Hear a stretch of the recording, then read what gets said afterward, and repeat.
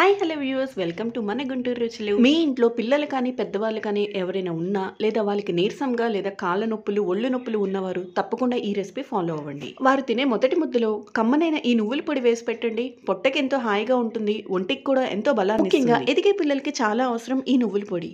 నువ్వుల పొడిలో zinc calcium folic acid iron ఉన్నాయి కాబట్టి వారి ఎదుగుదలకు ఎంతో ఉపయోగపడుతుంది. నువ్వుల పొడి చేసుకోవటం చాలా ఈజీ. అలాగే ఎంతో తక్కువ ఇంగ్రీడియంట్స్తో అయిపోతుంది. బాండి పెట్టుకుని వేడైన తర్వాత ఒక వంద గ్రాముల నువ్వులు తీసుకుని నేను చూపిస్తున్న విధంగా లో ఫ్లేమ్లో దోరగా వేయించుకోవాలి. నువ్వులు అడగంటకుండా మధ్య మధ్యలో తిప్పుతా ఉండాలి. ఐదు పది నిమిషాలకి నువ్వులు వేగిపోతాయి అలాగే వేగిన తర్వాత నువ్వులు కూడా మంచి వాసన వస్తుంది. చూడండి పది నిమిషాలకి నువ్వులు బాగా వేగిపోయాయి. కలర్ కూడా చేంజ్ అయింది కదా? ఇప్పుడు మనం నువ్వుల్ని వేరే ప్లేట్లో సపరేట్ చేసుకుని పూర్తిగా చల్లారనివ్వాలి. ఇప్పుడు అదే బాండిలో మనం తినే కారానికి తగ్గట్టు ఐదు నుంచి పది ఎండుమిరపకాయలు వేసుకుని లో ఫ్లేమ్లో వేయించుకోవాలి. ఎండుమిరపకాయలు వేగడానికి కూడా ఐదు నిమిషాలు పడుతుంది. ఎండుమిరపకాయలు కూడా వేగిన తర్వాత వేరే ప్లేట్లో తీసుకుని చల్లారనివ్వాలి. ఎండుమిరపకాయలు నేను చూపిస్తున్నట్టు ఇలా తునిగితే చాలు. ఎండుమిరపకాయలు వేగినట్టే ఇప్పుడు మనం వేరే ప్లేట్లోకి తీసుకుని చల్లారనివ్వాలి. నువ్వుల్లో నూనె శాతం ఉంటుంది కాబట్టి ఈ కారపొడిలోకి ఎటువంటి నూనె అవసరం లేదు. ఇప్పుడు అదే బాండీలో రెండు స్పూన్ల ధనియాలు ఒక స్పూన్ జీలకర్ర అలాగే కొంచెం మెంతులు వేసుకుని దోరగా వేయించుకోవాలి. ధనియాలు జీలకర్ర మెంతులు రెండు నిమిషాల్లో వేగిపోతాయి. మనకి మంచి వాసన కూడా వస్తుంది.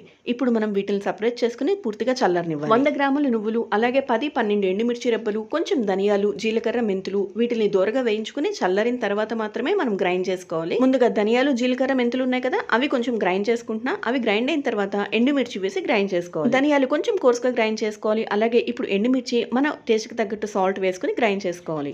ధనియాలు ఎండుమిర్చి గ్రైండ్ అయిపోయాయి చూడండి. ఇప్పుడు మనం వేపి చల్లారి పెట్టుకున్న నువ్వుల్ని వేసుకుని స్మూత్గా గ్రైండ్ చేసుకోవాలి. నువ్వుల్లో కొంచెం నూనె శాతం ఉంటుంది కాబట్టి మనకి మిగిలిన కారపొడిలాగా పొడి పొడిగా ఉండదు. మీకు పొడి పొడిగా కావాలంటే వేపిన శనగపప్పు కానీ పల్లీలు కానీ కొంచెం దూరగా వేయించుకుని నువ్వులతో పాటు కలిపి గ్రైండ్ చేసుకోవచ్చు. ఇప్పుడు ఐదు నుంచి పది వెల్లుల్లిపాయ రెబ్బలు వేసుకుని ఒక్కసారి కోర్సుగా గ్రైండ్ చేసుకుంటే చాలు. కొందరైతే వెల్లుల్లిపాయ రెబ్బలు కూడా వాడరు. మీకు ఒకవేళ ఇష్టం లేకపోతే స్కిప్ చేసేయచ్చు. అంతేనండి. ఎంతో రుచిగా అలాగే ఎంతో ఆరోగ్యాన్ని ఇచ్చే నువ్వుల కారపొడి రెడీ అయిపోయినాయి మీ ఇంట్లో పిల్లలకి కానీ పెద్దవాళ్ళకి కానీ మొదటి రెండు ముద్దలు ఈ కారపొడి వేసి పెట్టండి.